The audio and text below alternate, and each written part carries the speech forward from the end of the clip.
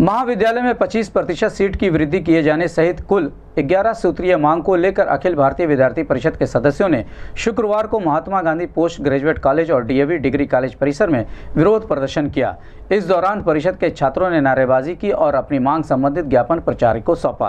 परिषद के सदस्यों ने ज्ञापन के माध्यम से महाविद्यालयों में प्रत्येक वर्ष सितंबर माह में छात्र संघ चुनाव कराए जाने, महाविद्यालय अपना शैक्षणिक कैलेंडर जारी करने छात्र छात्राओं के सर्वांगीण विकास के लिए महाविद्यालय में क्रीड़ा सामग्री की व्यवस्था किए जाने, महाविद्यालय के वाचनालय में नवीन पुस्तकों की व्यवस्था किए जाने शौचालय और शुद्ध पेयजल उपलब्ध कराने सहित कुल 11 सूत्रीय मांग की।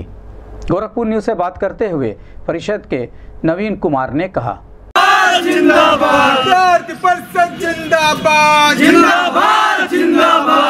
करेंगे तीन का परीक्षा और परिणाम। एक करेंगे तीन का परीक्षा शैक्षिक बदहाली दुरुस्त करो दुरुस्त करो जिंदाबाद जिंदाबाद ज्ञानशील एकता।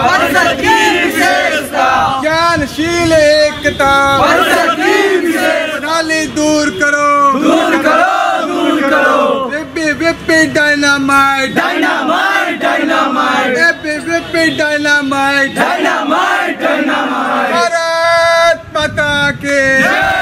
भारत माता के। करेंगे तीन का परीक्षा और परिणाम।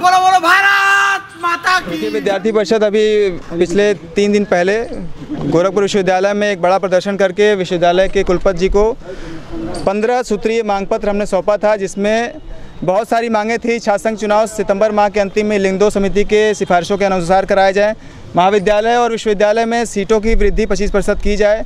स्वास्थ्य की समस्याएँ जो विद्यालय, महाविद्यालय में रहते हैं, उसके लिए एक डॉक्टर की व्यवस्था की जाए, स्वास्थ्य चिकित्सा व्यवस्था ठीक की जाए, सफ़ाई की व्यवस्था ठीक की जाए, जो शिक्षा व्यवस्था है, अध्यापक पढ़ाते नहीं हैं, छात्र उपस्थित नहीं रहते हैं महाविद्यालयों में, उनको लेकर हमने मांग पत्र दिया था।